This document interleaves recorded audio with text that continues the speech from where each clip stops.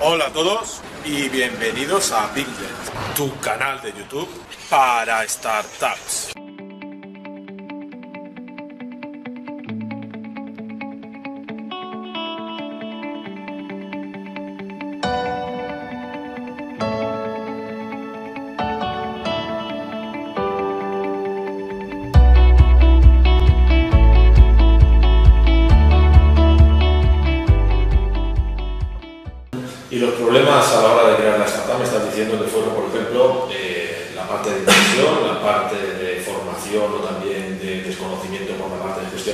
¿Qué otros tipos de problemas, aparte de estos, os habéis encontrado? Bueno, nosotros, bueno, para empezar, nosotros en, en la empresa tenemos prohibida la palabra problema. Eh, Incidencia, ¿no? eh, nosotros, nosotros usamos desafío o reto. Desafío, Eh, buenísimo. porque constantemente tenemos desafíos en todas las áreas, eh, desde organización, producción, empresa, eh, desde todo. Todo lo que se te puede ocurrir es un desafío, porque la mayoría de las cosas no las hiciste nunca, o, o aparecen cosas nuevas, o cuando decís, eh, aparece algo nuevo, y- o te cambian la tecnología, siempre hay como Es otra mentalidad, verlo desde otro punto de vista. O sea, Eh. Bueno, yo te diría que el reto principal para mí, quizás es específico de esta startup, pero yo creo que es bastante general, es el tema del equipo. Es cómo, cómo generar el equipo adecuado. Em, aquí, aquí hay mucho aprendizaje detrás, si quieres hacerlo bien, y, y mucho prueba y error. O sea, equivocarte, Todo, todo, todas las startups dicen lo mismo, prueba y error. no, equivocarte, aprender e intentarlo mejorar. ¿no? Porque, eh, yo siempre digo lo mismo, ¿no? Al final las startups, si cuando empiezas somos dos, personas, el 50% de las startups dos personas. A la que entra una tercera persona es un 33% de la empresa, ¿no? Porque la startup al principio es capital humano. Sí, duro duro. Entonces, eh, la la importancia de esa persona es brutal. No te puedes equivocar, no tienes mucho margen para error. Te puedes equivocar una vez, a lo mejor, pero eh, hay que, hay que gestionarlo muy bien. y, y- y es lo que quieren. Entonces, en estas fases de crecimiento, es una vez tuvimos el producto ya funcionando, es una parte muy importante que parece obvia, pero es encontrar quién es tu target, quién es tu cliente y sobre todo entender quién es la- el decision maker en las compañías. Para los que nos están viendo y a lo mejor tengan mañana interés en hacerlo, eh, ¿cómo lo detectasteis? ¿Cómo detectasteis? ¿O ¿De qué forma? Exacto, por ejemplo, vimos ¿no? con, con algo que hablábamos antes, ¿no? que los técnicos o CTOs de, de pequeñas y medianas compañías nos veían como una amenaza muchas veces, porque lo que les decíamos, entre comillas, era que su sistema no funcionaba y el nuestro era mejor y más, más económico que el suyo. Claro. ¿Y ah, qué ibais a financiero? No, no, bueno, no, íbamos o al director general, o director de operaciones, o director Ok. de innovación, o I más D, depende, depende de la compañía. Sobre todo es entender, una tarea muy importante es entender quién es tu interlocutor adecuado en una compañía. Empezamos con, con- con otra propuesta y luego fuimos al mercado y vimos que no se aceptaba. Así de claro. Nuestra primera propuesta era eh, estudiar el contenido de cada uno de los libros y nuestro reto era conocer cuáles eran, eran los patrones o las claves de los libros de éxito. ¿Cuáles eran los ¿Por qué triunfaban? ¿Por qué triunfaban esos libros? Porque eran bestsellers. ¿Y por qué estudiábamos los bestsellers y los world-sellers? Y queríamos encontrar los patrones de, de- de uno y de otro para hacer una predicción de éxito comercial de los libros. problemas que encontramos fue, mm, yo creo que el, el encontrar empresas dispuestas a, a- a probar nuestra solución, ¿no? Ese fue el gran problema. Ese fue el gran problema. Es, al final son empresas que, pues, normalmente la gente tiene muy poco tiempo, tiene mucho trabajo y cuando tú vienes eh, como, como empresa, mm, empresa startup, sin clientes, sin experiencia, Te minimizan. eh, ¿no? es muy complicado. Entonces, aquí la gran suerte que tuvimos fue de encontrar una empresa que creyó en la visión que teníamos. O sea, vas teniendo, hay mucha literatura sobre esto, ¿eh? pero hay un efecto, por ejemplo, las 50 personas. ¿no? Cuando tu compañía crece, crece más de 50, muchas no superan esa, es una barrera psicológica, pero muchas no lo superan.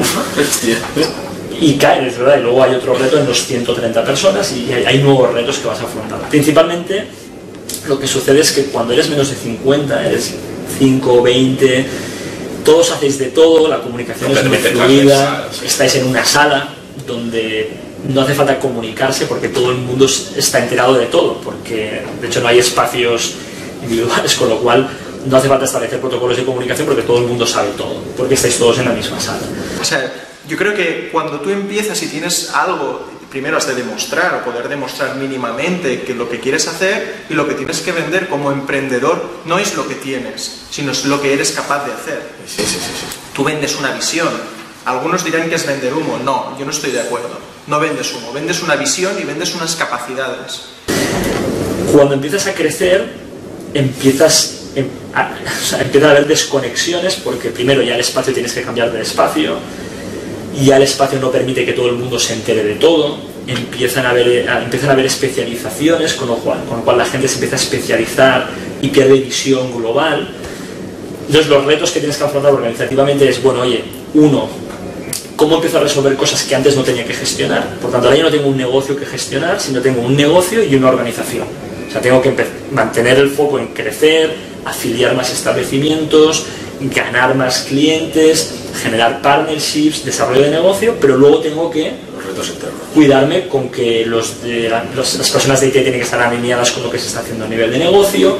negocio. Entonces, todo esto cuesta, de hecho, no te das cuenta a priori, te das cuenta cuando ya las cosas van mal, ¿no? Cuando ya, cuando ya es un reto, porque se convierte en un problema porque IT no está conectado con negocio, negocio no está conectado con operaciones, entonces dices, bueno, ahí, stop. Entonces, tienes que empezar a crear una estructura de gente que se dedica a ciertas cosas que ya no son directamente productivas para el negocio. Entonces, hay un primer aprendizaje que es crecer la estructura. se pasa mal, se llora y uno se va a la cama acojonado en algunos momentos. Luego otros es espectacular.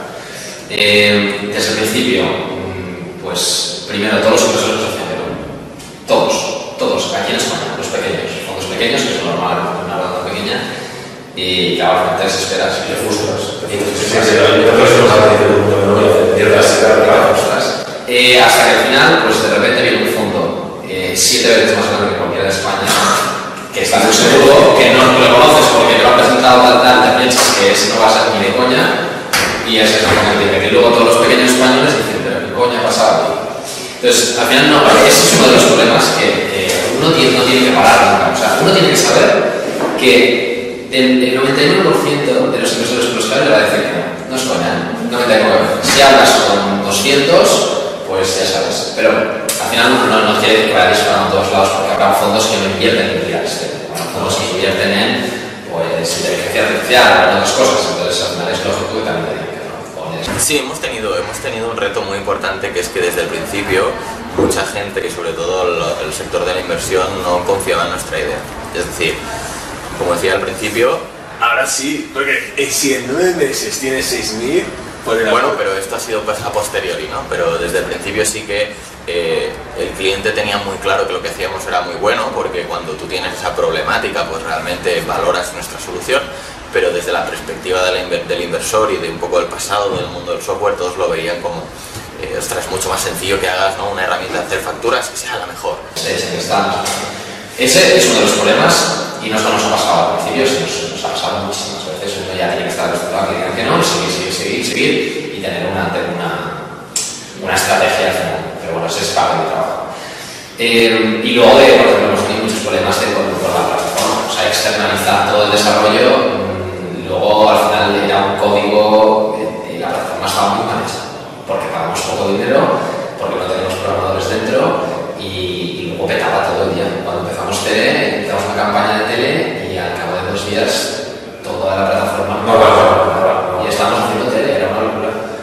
pero nosotros teníamos claro que nuestra visión no era esa y que eso ya no valía y que eso no es lo que estaba buscando un negocio, porque no quieres tener, vuelvo a lo del principio, nueve softwares para gestionar un pequeño negocio de ocho personas, porque casi que toca a uno y medio por cada uno, ¿no? Sí. Eh, con lo que no acabas entrando en todos, acabas teniendo una ineficiencia brutal.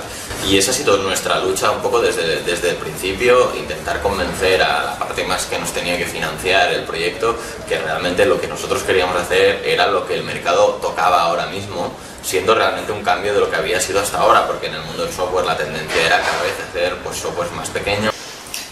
Yo creo que nuestro desafío, reto principal ha sido el darnos a conocer.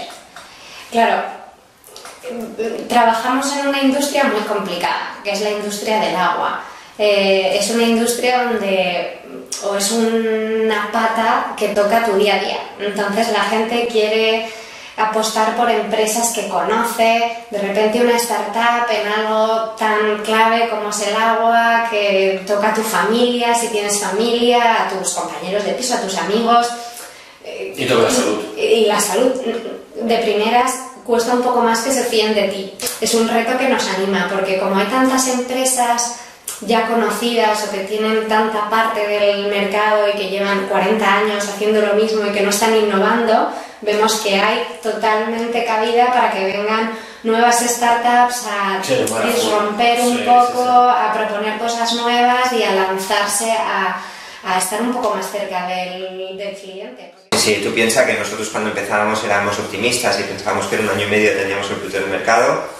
Eh, evidentemente en un producto de hardware como el nuestro, cuatro años antes de llegar al mercado no te los quita nadie. ¡Wow! Cuatro años. Sí, porque tienes que hacer el, tu desarrollo, eh, luego tienes que, digamos, eh, eso, empezar a hacer pruebas de durabilidad, de pruebas de estrés, tienes que poner en marcha la línea de producción, que mínimo son nueve meses, luego esa línea de producción se tiene que ir testeando y hacer una serie de, de tiradas muy cortas para afinar los defectos que haya y, y, bueno, es un proceso largo. Durante el primer año, más o menos, nuestra inversión en la compañía fue muy limitada. O sea, fue, pusimos muy pocos recursos. En, un, en, una empresa de hardware no vale lo del uh, el minimum viable product, que uh -huh. se dice mucho, ¿no? Eso está muy bien para software porque puedes hacer algo funcional y lanzarlo y ver qué pasa. Sí, sí, sí. En hardware no. En hardware lo que tienes que hacer es un producto mínimo viable técnicamente, no comercialmente. Los inversores, que siempre tienen dudas sobre si el mercado existe o no existe, empezaron a invertir. Porque estaba validado. Porque estaba validado. Entonces a veces no os mm, retorzáis mucho la mente con las partes técnicas que no se pueden resolver, sino retorceros también en aquello que le preocupa al inversor. Al inversor le preocupa que eso se pueda, tenga un time to market y un market real. Entonces, poder demostrar eso os enriquece.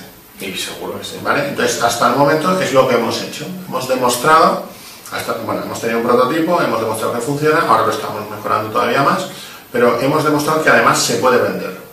Claramente los programas de cada empresa tech. Eh, además, como dicho Alina, nosotros hemos tenido presupuesto, presupuesto limitado en cada fase, entonces hemos tenido que utilizarlo con mucha cabeza.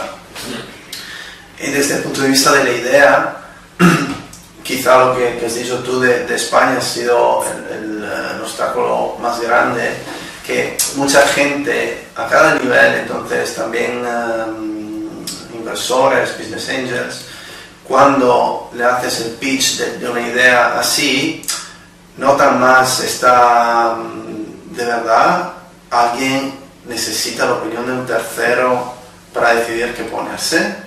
De, de hecho, con el tiempo se ha demostrado que el que nosotros veíamos, eh, y con esto nos echamos flores porque es una de las cosas que sí que hemos hecho bien, otras lo hemos hecho fatal, sí. es tener esta visión muy clara.